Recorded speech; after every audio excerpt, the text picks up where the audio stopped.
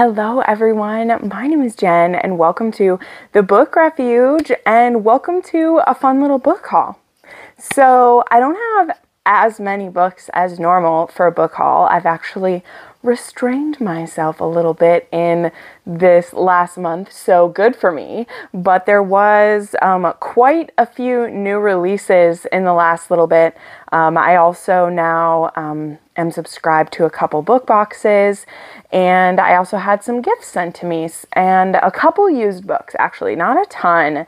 Um, I've kind of stayed away from a couple of my used bookstores lately just because um, I've been showing something called restraint that I don't always have. Um, but part of it is is like pretty soon there's going to be tickets for Book Bonanza 2023 going on sale, and I plan to go to that next year. And so I'm trying to hold back a little bit on buying more, you know, at least until I buy those tickets in September, and then you know we'll forget all about that restraint. But let's go ahead and dive in. Um, I'm first going to go through my stack of new releases here. And again, like some of these new releases are going back to June even because I just haven't had enough books that I've needed to do a haul yet. Um, so some of these are going back a while, which is crazy. For a while there, I was doing a book haul like every two weeks. But let's go through this stack of new releases and we'll work our way through everything. So I have some historicals to start with, which is really cool. And I wanted to start with a historical that I have been raving about lately, um, particularly because it fit into a lot of categories that people sometimes ask me for. Um, this one has like an arranged slash kind of sort of coerced marriage. It's more arranged or convenient than that, but the hero does kind of put the heroine in a tight spot, which I loved actually. And then it's an age gap, and it's actually a pretty like significant one. A lot of historicals have age gaps where the men are older. Like it just is that way in a lot of them. Um, but this one, it's a it's a very pronounced because I believe the heroine is only like 18 or 19, um, and that's Phoebe. And this is a book that I read actually the end of June because I read it on the airplane back from Utah, which is kind of funny. I went to Utah to see. Um, Sophie Lark and um, Crystal, and it was really fun. So, yeah, this one is a age gap between Phoebe, who is one of the five Bellamy sisters, and then we have Paul, who ends up like he's renting their family's house. And that's all I want to say about that because I don't want to spoil it. But I really love this. This cover is kind of interesting. I wish it was the same height as the rest of SM LaViolette's books. I'm not a huge fan of this. And also, Amazon didn't do the best job printing this one either. But I don't care. The inside is still amazing. This book was spicy and emotional, and I love how they grew to love each other. And yeah, so I highly recommend. Then some other new releases that I haven't read yet are up All Night with a Good with a Good Duke by Amy Rose Bennett. This is the first book in the Byronic Book Club. I quite a few of my friends have read this and really enjoyed it. There is A Duchess by Midnight by Charis Michaels. This is book three in Awakened by a Kiss. Um, I had to have this. Look at this cover. I had to have it. There's no other answer. And then The Return of the Duke by Lorraine Heath. This is book three in Once Upon a Dukedom. She is going to be starting a new series after this that's like connected with this one. But also, I gotta buy the Lorraine Heath. There's no, there's no other, there's no other option. Then I was sent this book by um, uh, Eden Books PR or Elle Woods PR. Um, and this is an MMF royalty romance that I actually want to read very soon. Um, it was sent to me from Kelly Jamieson, and this is Royally Indecent, and this is um, Chelsea, and she becomes roommates with Ford, and she believes that he's just gay and she has no chance with him. But then there's Griffin, who is a prince and somehow all three of them end up falling in love with each other. And when I was asked if I wanted this book, I was like, hell yes, I do. I've read a couple books by Kelly Jamieson before that were MMFs, and I really like them. So I can't wait to give this one a try. I'm glad I'm doing this haul because I want to read that one soon. Then I, of course, read and reviewed Twisted Lies in June. So here's my butterfly copy of this. I really actually love the uh, alternate covers of these ones. And the only one that I have, so I have the alternate cover for all of these, except, well, and I have both covers for Twisted Hate because I love that cover model who is Josh in there, but otherwise, I really like this. So this one is Christian and uh, Stella, and I loved this one. Then I, of course, had to get the special edition of Barbarian Lover. This is book three. I really do love these covers done by um, Berkley. So I like the originals just fine, but I really like these recovers too. So I love those. Tease, which I read, um, when it came out by Melanie Harlow. It's actually probably my least favorite in the series, but the cover is beautiful and I actually like you could order this 2 weeks before the the ebook came out because Melanie wanted people to be able to order copies for Book Bonanza. So I might not have bought a physical copy of this one if I'd read the arc, but this one is a friends to lovers fake fiance. Um, and both of them have like commitment issues that didn't really make sense to me, and that's always frustrating. We have Throne of the Horde King by Zoey Draven. This was the sixth and final book in the Horde Kings of Dakkar, and I really enjoyed this series. There's going to be a spin off series that comes after this, and yeah, she just did a great job with this whole series. This is a series that is very bingeable. There's audiobooks for books one through five so far. I'm sure this one's coming, and I just, the experience of reading those is unmatched. It was amazing. Then um, I have both Princess, which came out in July, and Embers, which just came out in August. And I read arcs for both of these books. These are books two and three in the Kindled series. It is a like post-apocalyptic series. All the books in this series are like age gaps. Um, and it's usually them stuck together for survival. And I'm so excited to add these to my collection. I have all three of them now. The first one, I actually, have right here is Haven um, so there's these three. Hero is coming in December. But then the book that kind of kickstarted this, which I have one of the original covers, is Last Light. So this one is like a standalone. And technically, you could reach each of these as a standalone, but they all kind of connect together. Um, so I do recommend if you want to read the series to start with Last Light, which is kind of like a Beth and Daryl fanfic. I'm just saying it. I'm saying it. Um, and then you can dive into these ones, but I love them so much. And like I said, I'm really glad to add them to my collection. All right, then there is Mafia Madman by Mila Finelli, which I just got and I actually read the other day. This book just came out. It's book three in the Kings of Italy. And this one is about Enzo and Gia, and he takes her prisoner for revenge. And they fall in love. And it was great. Then there is Chosen by a Sinner, which also just came out and I also just read. Um, and this is book four in the Sinner series by Michelle Heard. And this one is a got married in Vegas, but actually secretly I love you romance. I don't know how else to say it, but it was really fun. Um, I still probably like the third one the best, but I love that. Then we have Zephyr by Amara Ray. This is book four in the Immortal Coven series. And Amara has been knocking this series out of the park. I adore it so much. This one has a shifter named Alexander in it, and the heroine is Greer, who is part shifter, part air manipulation, and they are fated mates. But Alexander for certain reasons, is saying that he is connected to someone else. So she feels like there's no hope for her to have a happily ever after because she's in love with someone who has already found a mate. And we'll see how that plays out. But I loved this book. I gave it five stars. Okay, then um, I just real quickly wanted to share this book because I won't have it in my possession for too long. Um, but that is Moonrise by Inez Johnson. And this is the August exclusive review for my patrons. So I grabbed a copy of this. I will be annotating and putting my thoughts in this book. So if you are interested in hearing my thoughts on this book, which up according to the blurb, this is kind of like a paranormal while you were sleeping. If you don't know what while you were sleeping were, I feel so old if you don't. But it was a like rom-com. Kind of it wasn't super funny all the time.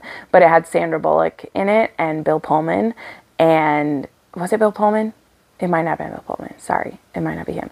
But it was a um or bill paxton I don't know, now I'm messing it up. But she rescued a guy from dying and then so that she could sit by him at the hospital, she says she's his fiance. Like she lies. And I believe this is supposed to be like that, but it's like paranormal. And when his brother shows up to check on him, he actually is her mate. And so he's like, oh no, she's in love with my brother, but like she's my mate. so anyway, so I'll be reading that soon. Um, then I, you know, this is no nothing new, but in July we did a, a special edition of Rake Appreciation Society, and we read Persuasion, and actually bought the um, like leather cloth bound version from Penguin, and I like annotated it well. Um, I read it, but I did haul it, so I had another copy of Persuasion, but I wanted this like hardbound one to annotate so that's what I did. All right, then I have some books from some book boxes. And I've already showed these books off a ton, but oh my god, I'm so excited to display them on my shelf behind me.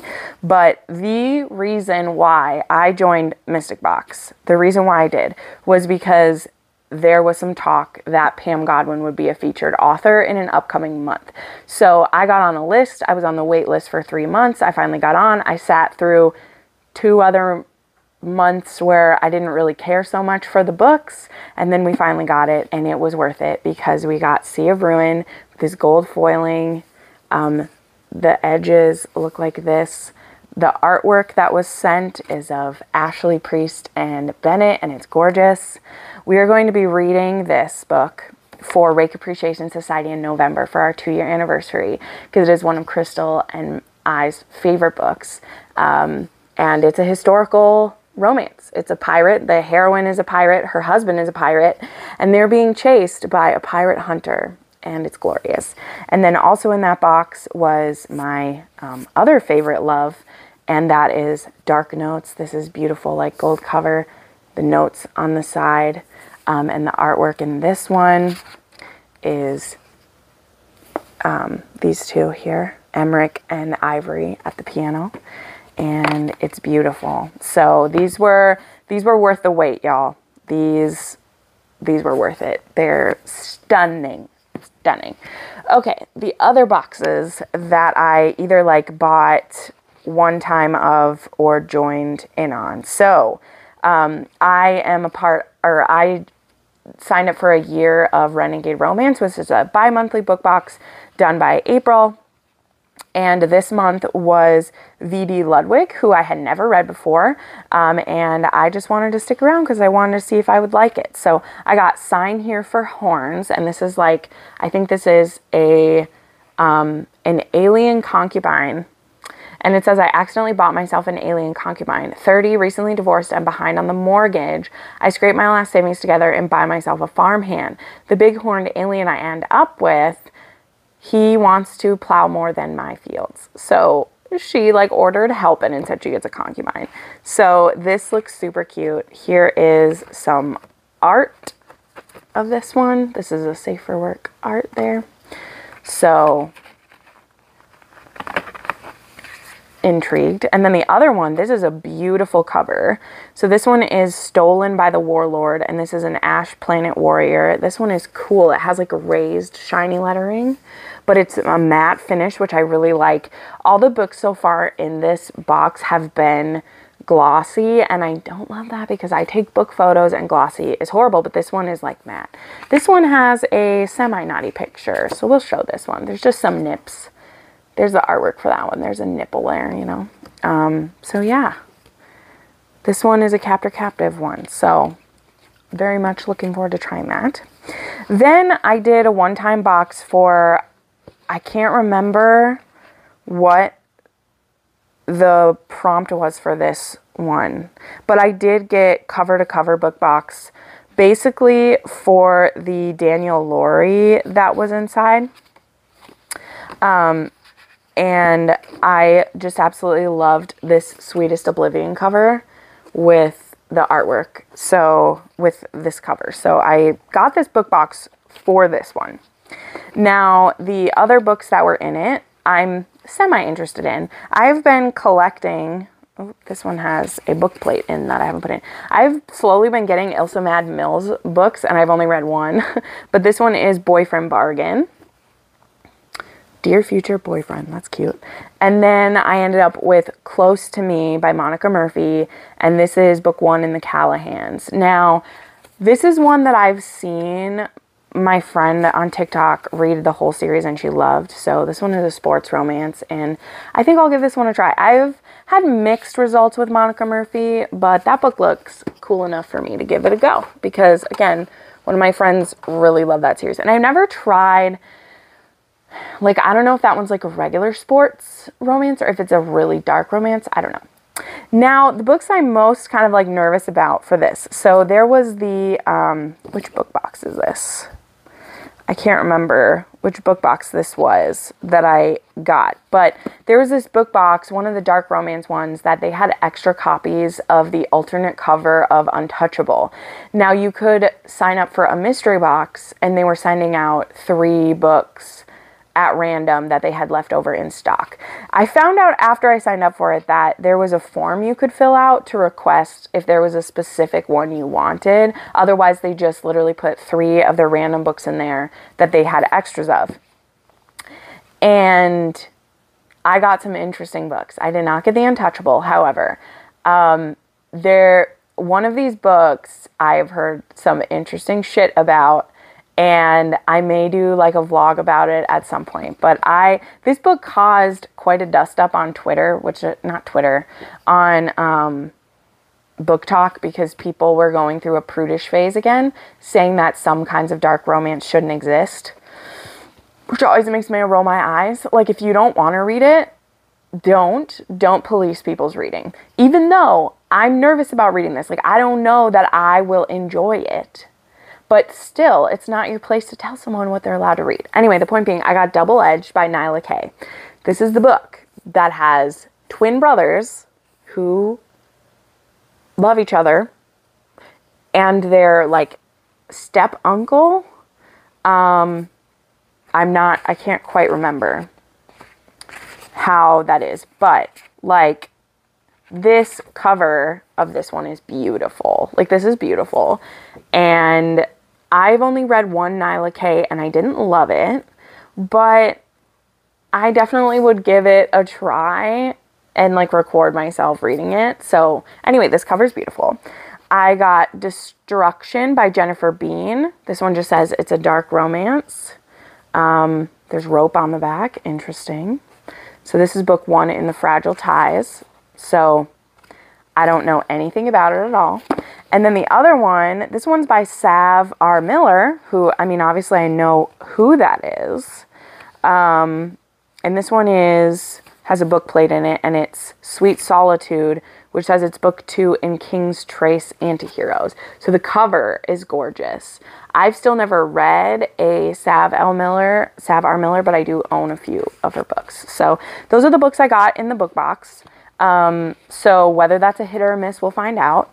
But it was still fun to get some random books that I knew would all be dark because for a while I did like the the like romance or romance book I can't remember which one I did, but I would ask for dark romance and they wouldn't always have dark romance to send me. So then what you gonna do?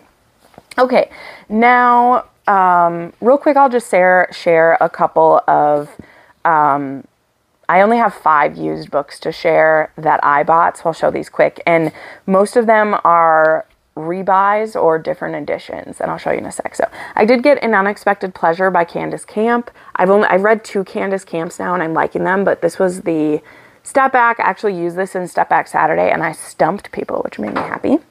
I finally found, now this still isn't a first edition yet, but it's a step in the right direction. So I found the original cover, just not an original edition, of Minx.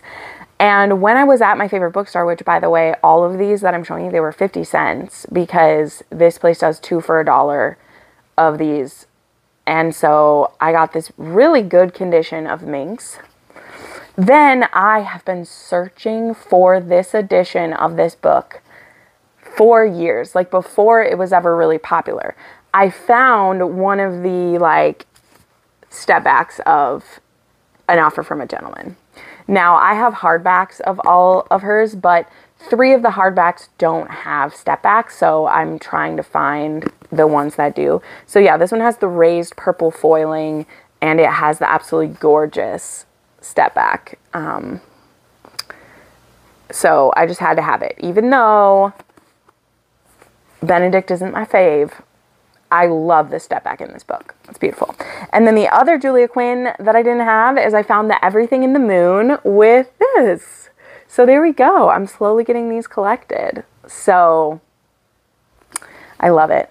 And then the other one that I'm recollecting, I'm recollecting these Celeste Bradleys. Um, I don't know why I got rid of them, but um, this is one of the Heiress Brides that I don't have.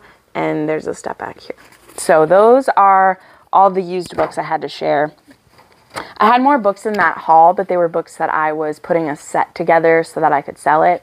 Um, because I did find a bunch of the other Bridgertons and I put them in a book box with a bunch of others on my eBay. So that was cool. All right, now I just have some gifts to share.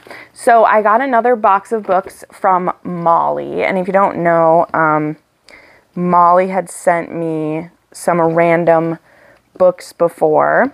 Um, and some of them I'd owned and some of them I didn't. And this time, she sent me a paranormal box. Well, most of them are paranormal, a couple of them aren't.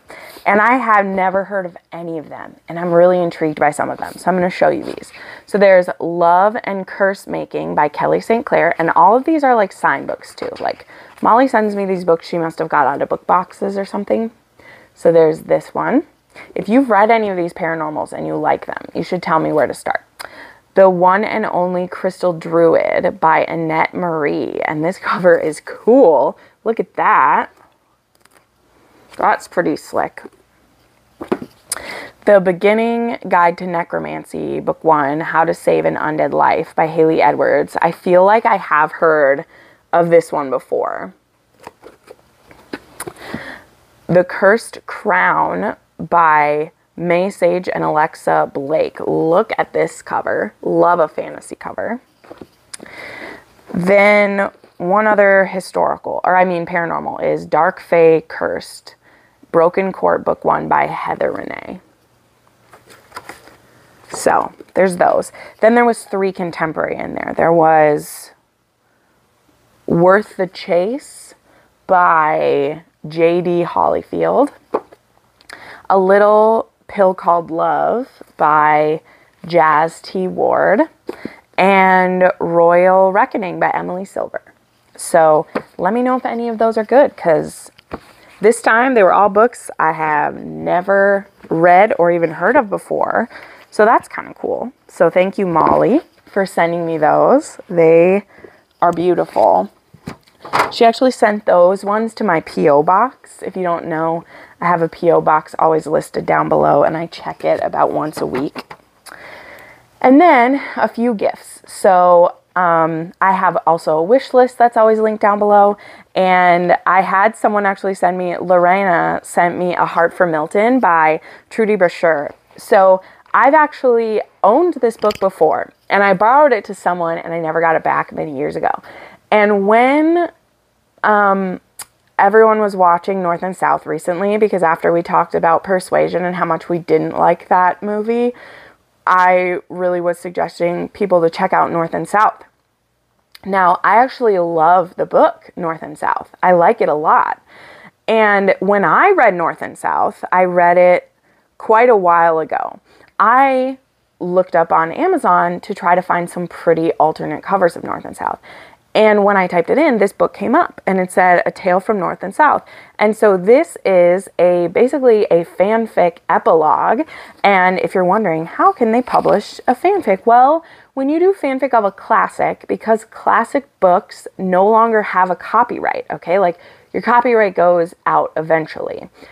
People can make fanfic about your books, and that's why you can literally see people do stuff with Pride and Prejudice all the time because nobody owns the copyright for it anymore. You know, that's why tons of people can make um, new copies of Pride and Prejudice, or they can parody it, or they can literally do fanfic of it and use the same names, right? And this is, someone did that for North and South. So this is an epilogue and it also has open door scenes. I'm, I wouldn't say this is erotic by any means. It's a beautiful first year of marriage between Margaret and Mr. Thornton. So if you love North and South, whether the book or the BBC, and you want more because it leaves us at the train station and we're just like, oh, what happens? This book, it reworks the last like month of the timeline. And again, I don't want to spoil North and South in case you haven't watched it yet, but there are a few changes that get made and then it goes into the first year of marriage. And so, yeah, like you get to see relations between Margaret and Mrs. Thornton, the Dowager Mrs. Thornton, and you know their their first year together and it's beautiful i love it it's sexy and it's it's great i'm not saying it's the greatest literature ever but i loved it and so point being lorena i put it back on my wish list because i was like you know my friend i'm probably never going to get that book back and my friend lorena sent it to me so now i have it and i'm so happy then um, Crystal actually sent me a book from my wish list to thank her for doing to thank me for doing the read along with her. So she sent me the Dare um, off of it, which I'm excited because Harley is going to be putting out like a sequel that is a um, a polyamorous Why Choose that's going to be coming out, and it will have MM stuff in it. So I'm happy. I want to reread that. It's just a little shorty. And then Christy just sent me a gift from my wish list to thank me for she was a part of the romance takeover readathon and she sent me the devil's submission by nicola davidson and it's just a little shorty here but i love this this has a submissive duke it's less than 100 pages and I. Actually, it's Lord Grayson. He's not a duke, um, but he likes to be dominated, and his wife doesn't know how to handle that, so she learns. And then the last thing I want to show off is my um, humble brag because back when these books were being designed, um, the author promised to send me the alternate covers once they were released and they finally got here last week and i'm because i couldn't justify buying the whole series again because i've already spent many many dollars on it.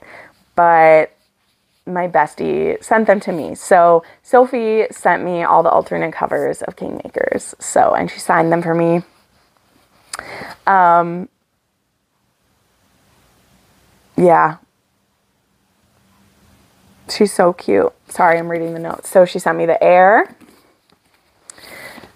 the rebel,